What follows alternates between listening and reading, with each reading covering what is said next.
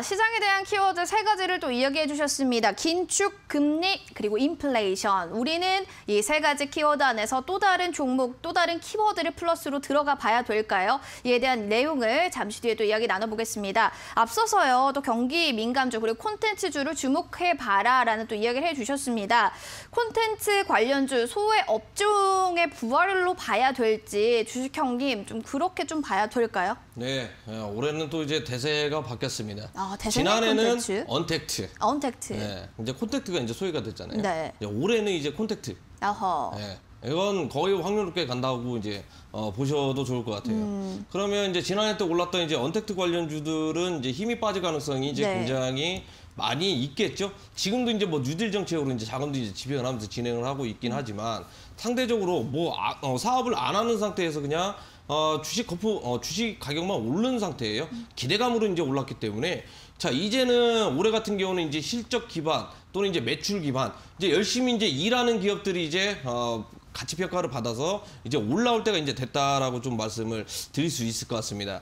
뭐 단적인 예로 지금 뭐 앞에서 얘기 뭐 이야기 다 해드렸어요. 특히나 이제 뭐 콘택트 관련해 가지고 제가 이제 뭐 전 세계적으로 이렇게 뭐 백신 맞고 백신 여권이 만약에 이제 뭐 논의가 되고 이제 추이가 되면 이게 이제 어 그 처음으로 이제 뭐 테이프로 끊으면서 어, 가장 크게 이제 과하게 이제 올라갈 가능성이 굉장히 높은데 네. 쉽게 얘기하면 이제 뭐 항공주도 이제 경기 민감주에. 있고요. 여행주, 그 다음에 뭐 쇼핑, 어, 해가지고 뭐 굉장히 뭐 많이 있습니다. 특히나 이제 뭐 중요한 것은 지금 해상 운임료가 이제 굉장히 올라가고 있고 이, 어, 이 배로 말 그대로 이제 배로 이제 뭐 수, 어, 수출도 하고 수입도 이렇게 뭐 진행을 하는데 어, 이제는 뭐 자동차 산업도 이제 뭐 기저 효과를 통해 가지고 이제 서서 이제 또 올라온다고 이제 뭐 보셔도 좋을 것 같아요.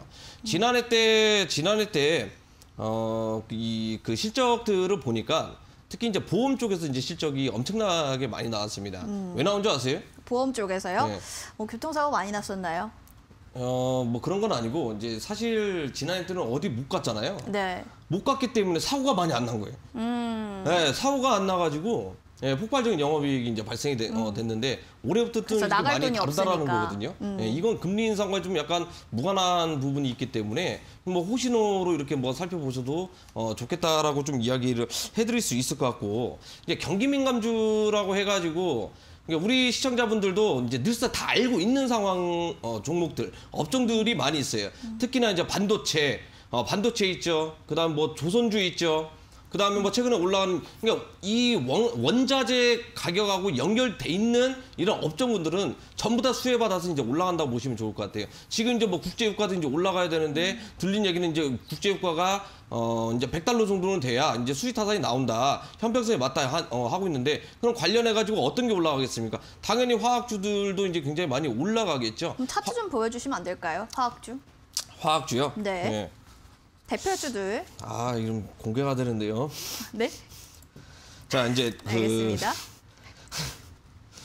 자, 화학주를 이제 대표적으로 한번 보면 어, LG 화학을 한번 보도록 할게요. 네. LG 화학 같은 경우는 뭐 2차 전지 때문에 이제 뭐 큰 폭의 이제 상세가 나오 어, 올라와줬는데 어, 100만 원 돌파하고 나서 지금 현재 기간 조정이 좀 나와주고 있는 음. 그런 상황입니다. 사실 이제 뭐 LG 화학 같은 경우에는 2차 전지 우리가 이제 2차 전지 하면 LG 화학이다 이렇게 생각하는데 원래 2차 전지 아니면요. LG 화학은 화학 쪽에서 매출이 굉장히 많이 이렇게 발생이 됐, 어, 됐던 그런 기업이거든요. 실제로 2차 전지 쪽에서는 매출이 그렇게 많이 안 났어요. 지난해 때까지만 하더라도요. 이 LG 화학 쪽에서 이제 어, 신사업으로 어, 화학 쪽에서 이제 매출이 발생이 됐으면 2차 전지 쪽으로 전부 다 이제 투자를 했다고 이제 뭐 생각을 하셔도 좋을 것 같아요. 물론 이번에 이제 분할돼 가지고 2차 전지만 따로 이제 뭐 빠져 나오긴 했는데 그러면 화학주로서 LG 화학 같은 경우는 지속적으로 화학적인 측면을 봤을 때 매출이 계속해서 이제 뭐 증대가 되면서 올라간다고 생각을 하시면 좋을 것 같습니다. 그런데 이번에 올려놓은 게 이제 LG 화학 같은 경우는 좀 약간 다른 쪽으로 이제 봐야 될 게 뭐냐면 2차 전지 때문에 100만 원 이상의 이제 호가를 너무 많이 올려놨어요. 근데 이게 분할돼서 내려가기 때문에 다음에도 이 100만 원이라는 가격대가 과연 올라올 것인가 여기 이제 합리적인 의심을 좀 어, 그렇죠. 어느 정도 이제 해봐야 된다라는 거거든요. 왜냐하면 이 2차 전지 사업부가 떨어져 나왔기 때문에 기존에 있는 사업부들 매출이 많이 발생이 됐던 거고 그렇다고 해가지고 100만 원까지 올라갈 정도의 아, 충분한 이제 뭐 매출이라든지 이런 부분들 지속성이 지금 현재 많이 떨어져 있는 그런 상황이라고 이제 보셔도 좋을 것 같아요. 그런 다음에 이제 항공주를 한번 볼게요.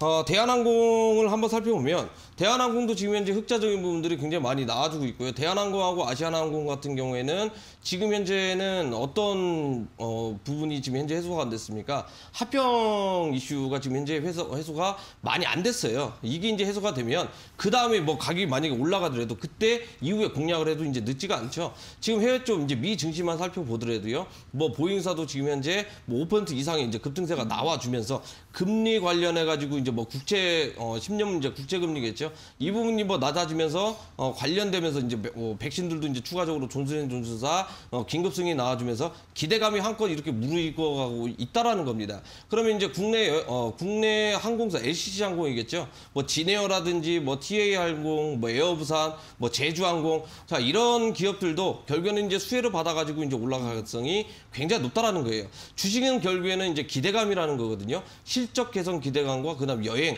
어, 호조로 인해서 이제 매출이 이제 뭐 증대가 될 것이다. 뭐 이런 얘기 한번 이렇게 나오게 되면은요. 그냥 뭐 어, 내가 잡고 싶어도 이건 어, 못 잡을 정도로 이제 크게 이제 급등세가 나와줄 수 있다라는 겁니다. 당연히 조선주 쪽에서도 영향을 많이 받을 가능성이 있겠죠. 왜 영향을 받냐면 우리가 이제 해상 운임이 올라간다고 해가지고 조선주가 이제 올라가는 게 아니라 원자재 쪽 이제 철강 가격이 엄청나게 올라가고 있어요. 올라가고 있는 상태고요. 그 다음에 더 중요한 것은 이제 미국 쪽의 어, 스탠스가 어떻게 나오고 있습니까? 지금 중국 어, 뭐 히토리라든지 이런 부분들 뭐 자원화 무기화하면서 다시 한번 이제 촉발되는 어, 그런 상황이 연출이 되고 있는 상황이죠. 그러면서 이제 지난주까지 히토리 관련주들이 굉장히 크게 올라가줬는데 이게 관련된 게 굉장히 많이 있습니다. 반도체에도 이제 영향이 많이 있고요. 그 다음에 우리 전자기기 들어가는 이런 일반 전기전자 쪽에는 어, 타격이 굉장히 많이 있다고 이제 생각을 하셔도 좋을 것 같아요. 그러면 어, 지금 반도체 뭐 비트코인도 마찬가지로 뭐 어, 바- 어, 마찬가지겠지만 이게 서버용 디램도 가격도 굉장히 크게 올라가고 있는 상황이에요.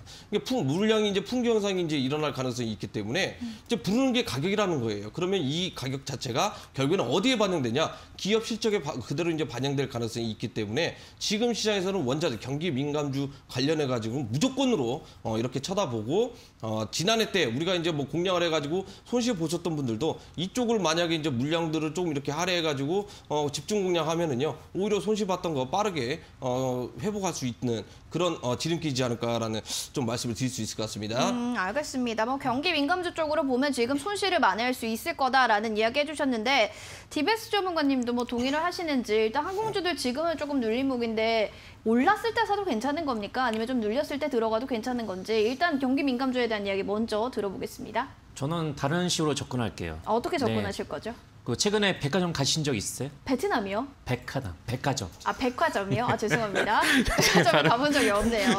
올해 들어서 쇼핑할 또 아, 기회가 아울렛도 안. 가보셨어요? 아, 아울렛. 아울렛도 가 아울렛 가봤습니다. 아, 아울렛 네. 가보시니까 어땠어요, 그냥? 사람이 많지 않더라고요. 어디 가셨어요? 어디지요? 아 저는 그 하남 쪽에 경기도 쪽. 아, 경기도군요. 네네네네. 아, 저 얼마 전에 이제 파주라든가 거기 음. 한번 갔었는데 근처에 이제 일이 있어가지고 이제 가본 적 있었어요, 그냥. 네. 한번 들렸었는데 엄청 많더라고요, 참. 그 한 2개월 전인가? 그 2개월 전에 한번 제가 이제 한번 탐방을 좀 했었는데 어떤 네. 이유에서 탐방을 또 하셨을까요? 아니 사람 있는지 없는지 한번 탐방을 했죠. 그냥 음. 주위 이제 그 백화점이라든가 또 저기 또 사람들 많이 몰리는 곳에 이제 아울렛 같은데 매장 가서 이제 봤었는데 확실하게 2개월 전하고 지금하고 이제 비교를 해보게 된다고 하면은 어 확실하게 지금 틀려요 완전하게. 아 음. 이제 소비가 서서히 살아나고 있구나 체감을 합니다. 사람이 정말 많이 붐비는데 그러면 매장 내에서 사람이 이제 붐비는 지역이 어디일까요? 그러니까 주류 쪽은 확실하게 사람 많고요. 여기서 이제 또 이제 가구라든가 어, 이런 좀 있죠. 네, 가구. 그러니까 리모델링을 좀할 수 있는 곳들. 네, 그렇죠. 그것도 상당, 상당히 많고 의류 쪽을 제가 한번 잘 봤어요. 형. 의류 쪽이 워낙에 많으니까 아울렛 쪽에서는 세일을 하는 지역은 의류 쪽은 사람이 붐비고 세일을 하지 않는 지역은 사람이 없어요. 음. 네, 거기에서 또 이제 여기서 또 이제 스포츠웨어 이런 부분이 있죠. 스포츠웨어 제 상품 이런 제 코너들 같은 경우도 어, 사람들이 2개월 전에 비교해 봤을 때는 어, 서서 이제 그쪽으로 해서 사람이 어느 정도로 이제 붐비고 있다는 것을 느끼고 있거든요. 뭐 제가 뭐 자주 이렇게 가지는 않는데 시장 조사를 네. 미리 하시는군요. 네, 자주 가지는 않았는데 한 달에 한 번 정도는 가는 것 같아요. 그쪽으로 해서 또 이마트도 이제 주위에서 제가 이제 장, 장을 봐야 되기 때문에 가보면서 어, 좀 보는 경험이 없잖아 있습니다. 예, 그 무슨 말을 하고 싶어서 그러냐면은 그만큼의 지금은 어, 우리 시장에서 그동안에 많이 올라갔던 주도주 섹터 있죠. 뭐 반도체라든가 이차 전지라든가 자동차라든가 인터넷. 뭐 뭐가 제일 좋아요라고 물어보시게 되면은 이 네 개의 섹터는 항상 이제 거론을 할 수밖에 없는 부분이에요. 어, 이번에 1월 달에 우리나라 이제 수출 이제 품목을 보게 되면은 자동차하고 이제 있죠. 반도체가 제일 많이 나왔고 그다음에 자동차. 그러니까 반도체하고 자동차는 계속적으로 해서 긍정적인 그런 신호가 나오고 있어요. 그러면은 이들 종목군들이 과연 매력적일까? 현재 위치상에서. 저는 그렇게 생각해요. 현재 위치상에서 이들 종목군들이 매력적일까? 그렇지가 않다는 얘기죠. 그러니까 만약에 매력적이었으면은 지금 현재 구간대에서 오늘 정도에서 어땠어요? 서서히 또 올라가겠죠. 그렇죠. 예, 매력적이면 올라가지요. 만약에 그렇지 않으니까는 이제 상승폭이 올라갔다가 어, 매도세가 출혈을 인해서 이렇게 상승 부분은 어느 정도 이제 반납이 되는 부분이고 그만큼의 이제는 조금 어떤 이제 새로운 섹터들 쪽으로 해서 좀 순환매가 좀 들어와야 돼요. 경기 시그널이 지금 살아날 조짐을 보이고 있기 때문에 여기에 따라서 경기 민감주 쪽으로 해서 최근에 이제 언급이 많이 나오고 있는 추세거든요. 그래서 중국 소비주, 어? 소비재 시장. 그러면 소비재 시장을 만약에 본다고 하게 되면은 우리가 또 중국을 봐야 됩니다. 그렇죠. 예, 중국 같은 경우는 작년도에서 유일하게 플러스 성장을 이제 보였던 이제 그런 나라였고 또 올해 이제 연초 대비해서 올해 2021년도에서 가장 큰 폭의 성장률을 예고된 그런 이제 나라이기 때문에 소비재 이런 이제 부분에서도 상당히 좀 큰 폭으로의 상승이 나올 것으로 예상이 되고 있고 또 우리나라 내에서도 백화점이라든가 또 얼마 전에 이제 그 오픈을 했었죠. 더 현대라고. 그 여의도 이름에서. 아, 문전성시를 이루고 있다고 합니다. 제가 가보지는 않았었는데, 그러니까 그 정도로 해서 이제 백화점 내에서도 사람이 붐비고 있고 소비를 하는 어, 그런 이제 소비가 심리가 지금 살아나고 있다는 얘기예요. 그러면은 뭐 중국의 양해 이슈도 있기 때문에 중국 소비주를 좀 보시는 게 아닐까 싶기도 합니다. 네, 맞아요. 제가 그 얘기 나중에 하려고 했었는데 그러면 중국 소비주 내에서도 우리가 이제 기본적으로 해서 화장품이 있고 또 이제 우리 쪽에 있는 부분이잖아요. 그러면 여기서 이제 화장품이라든가 의류 쪽이면은 다 올라가냐?